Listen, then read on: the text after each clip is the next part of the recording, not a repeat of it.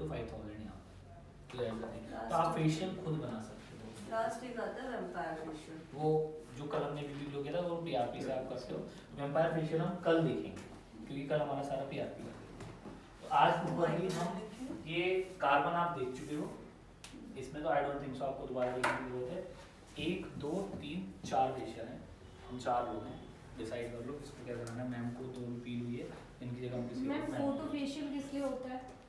Photo facial mainly आप patient को recommend कर सकते हो पिगमेंटेशन ब्रेक करने के लिए जहाँ उनका मेलोजेनेसिस हो रहा है पिगमेंट कलेक्शन है उसमें अच्छा वर्क करता है। बेसिकली जो ना फ़ोटोज़ के थ्रू होता है लाइट जो लाइट्स रिफ्लेक्ट करती है इसके वजह से फ़ोटो फेशियल कैसे uneven skin tone skin tightening करानी हो किसी को। इवन उसमें ना फिल्टर्स है अलग अलग आईपीएल की मशीन में फ़िल्टर होते हैं एक्ने का फ़िल्टर है आपको बताया रेजोल्यूशन था। का वो दिखाऊँगी आपको। जिसके एक्टिव एक्ने है तो उस पर वो फ़िल्टर लगा के लाइट्स का डिफरेंट आता है। जैसे रेड वाला जो होता है मेलाज्मा को ब्रेक करेगा। ग्रीन वाला जो फ़िल्टर होता है वो एक्टिव एक्ने किसी के पॉप आउट हो तो उसमें आप अपना लेजर टोनिंग कर सकते हो।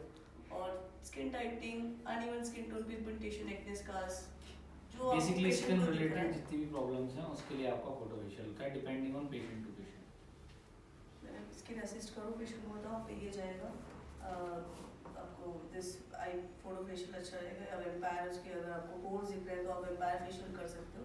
फेशियल स्किन असिस्टमेंट के बाद you can recommend this types all the kind of facials ठीक है? फ़ोटो फेशियल के वैसे चार्जेस क्या होते हैं आपको maximum four thousand to five thousand के बीच में